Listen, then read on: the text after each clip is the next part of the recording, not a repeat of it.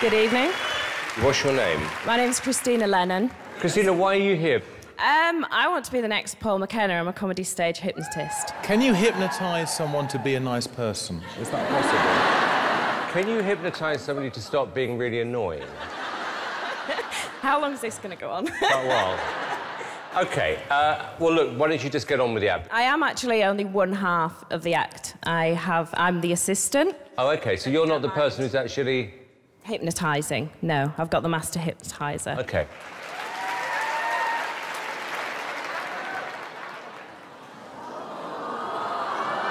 Oh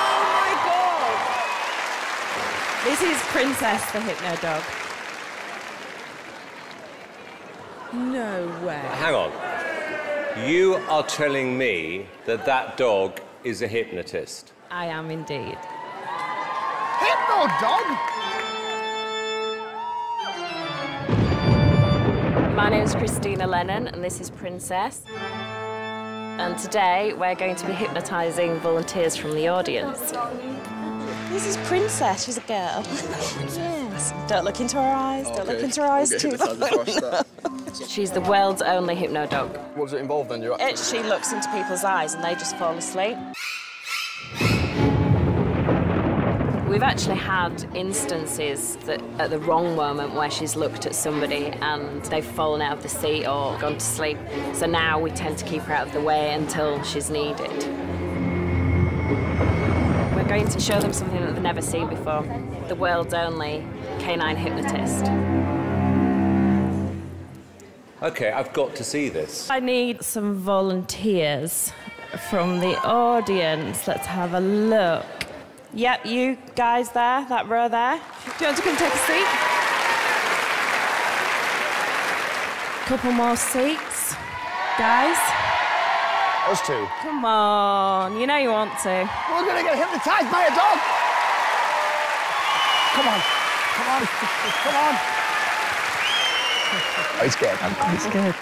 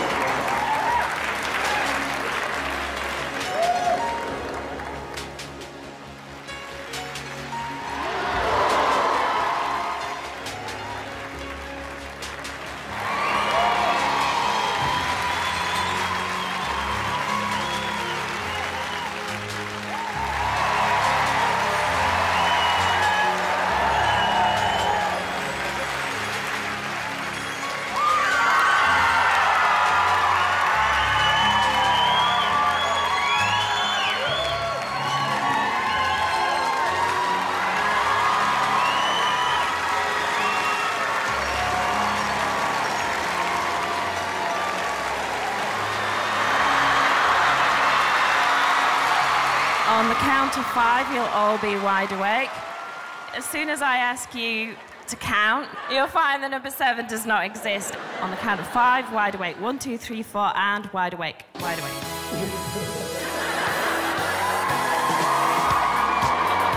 Do you want to take a seat back in your places? Do you want to count from one to ten for me, please? Yeah. One, two, three, four, five, six, eight, nine, ten, eleven. Try, try, try, try. One, two, three, four, five, six, eight, nine, ten, eleven. Okay. Give them a round of applause. Dick, are you up? I'm really bit worried about Dick. Eight, nine, ten, eleven. Yeah, I don't know what was going on there. Uh, Alicia, What the hell is going on? What have you done to our Aunt and Dick? Two, three, four, five, six, eight. Well, she's amazing, and I think Paul McKenna has got a problem. Did you believe it, Simon? Well, I did at the end, yeah. I mean, I think if you're going to do this, I think you've got to get them to do more crazy things. Yeah, this was more to show you what the dog can do. Would you do it with to me?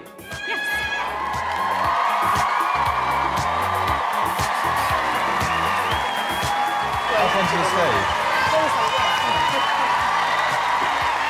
Here we go. I'd kneel down if I were you. That's a first for a start.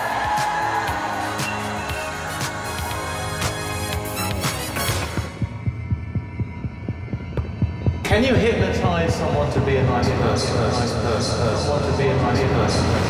This is the clip they'll use when they know you finally lost your mind. Well, nothing's happening. I don't think you can hypnotise everyone. Just a normal dog. What happened? Well, di- well, just like a dog with a huge tongue staring at me. Right, we're going to take a vote, yes or no. David, yes or no?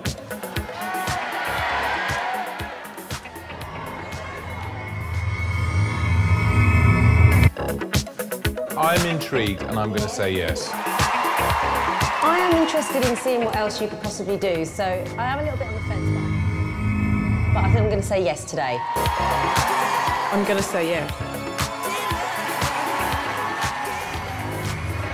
Simon? Simon? Yes for me. Thank you. Thank you.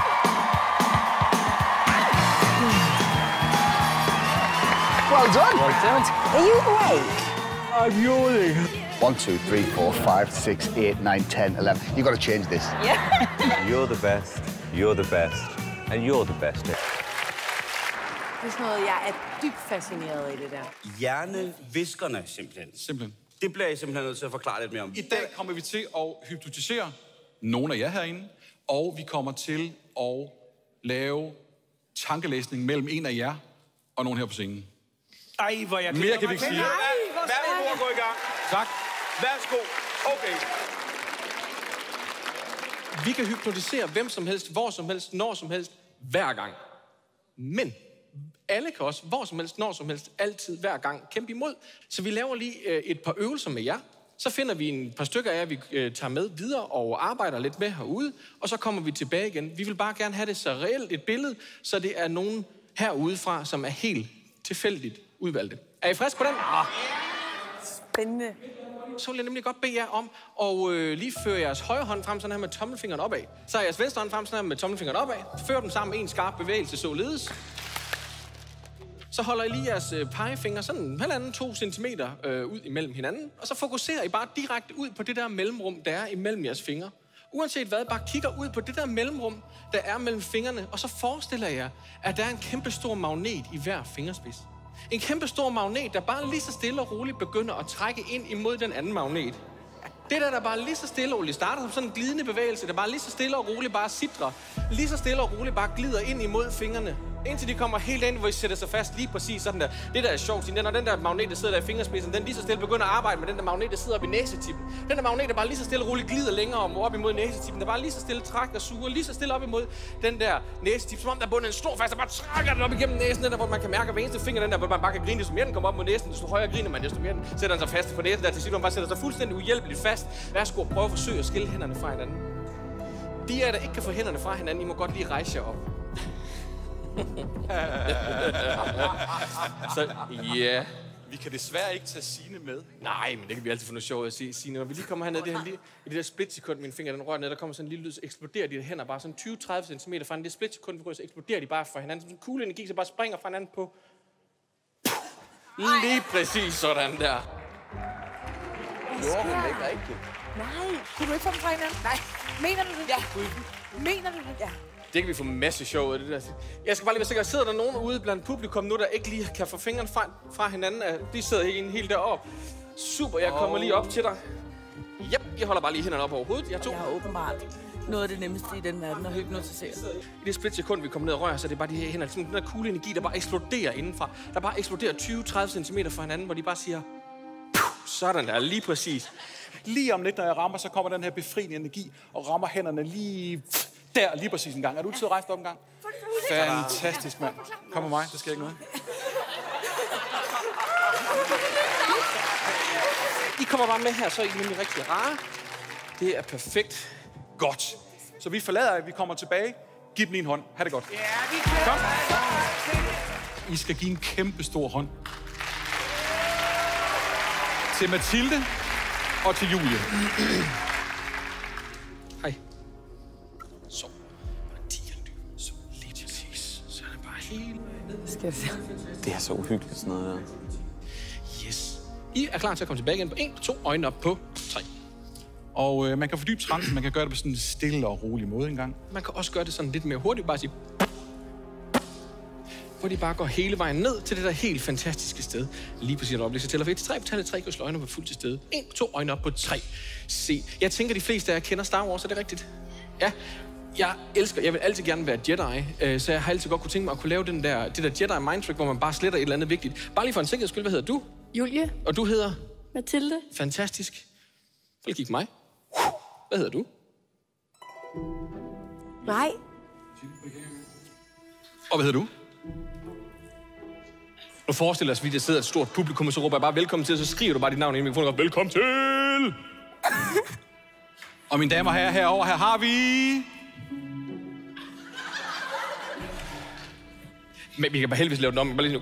Sådan, hvad siger du, du hedder? Julie. Hvad hedder du? Mathilde. Perfekt.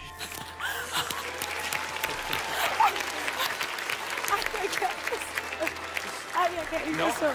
Vi skal lige bruge en frivillig mere. Og øh, det skal være dig, Signe. Du skal komme op nu.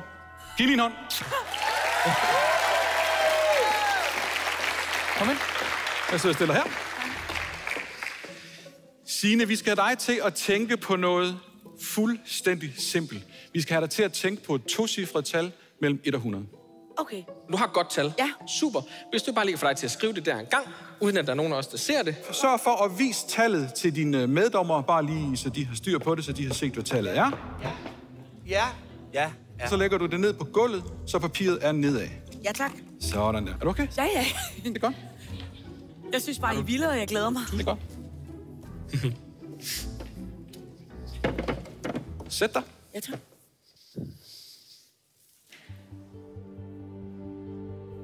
Have det der tal til at stå helt skarpt. Det er niveau. Når det er lige, hvor det kommer bare glæder det helt fantastisk. Det er bare give slip i hele kroppen. Bare slap af. Sidde på stolen på til 10 gange dybere. Lige så stille og roligt. Bare det der tal, der bare står klart og tydeligt i hovedet, der bare lige så stille og roligt svæver, glider over her. Du skal forestille dig, at du har tallet kæmpe, kæmpe stor sine, som om det står i sådan helt gigantisk over hovedet på dig. Som om man ligesom kan forestille sig, at man kan sende det ud til andre mennesker i lokalet. Så vil jeg godt bede om bare lige fokusere på min hånd en gang. Når det står helt klart og tydeligt, det her tal, som Signe hun sender til jer, det står helt klart og tydeligt, så vil jeres øjne bare glæde lige så stille i, indtil man glæder sig helt fantastisk sted, når tallet bare står der helt klart og tydeligt. Øjnene bare glæder i helt af sig selv. Så. Det er sindssygt. Når jeg tæller fra 1 til 3 på tallet 3, så vil I kunne rejse op, gå hen til Mikkel, skriv det her tal, der bare står klart og tydeligt for jer. Det gør I på 1, på 2 og øjnene op på 3. Sådan der. Mathilde og Julie, I kommer bare over til mig. Mikkel, Signe om et øjeblik, når jeg tæller fra 1 til 3, så vil du bare slå øjnene op og være fuldt til stede på 1, på 2, øjnene op på 3. Sådan der. er, den er du kilden, Signe? Hvad? Er du kilden? Ja. Kan du godt det der, hvis man sådan, nærmest kan blive kildt sådan på afstand, ikke? Og sådan det der, der, man bare kommer. Ja, ja. Prøv bare at vente til, at du kommer til at pege over imod det, så kilder det helt vildt.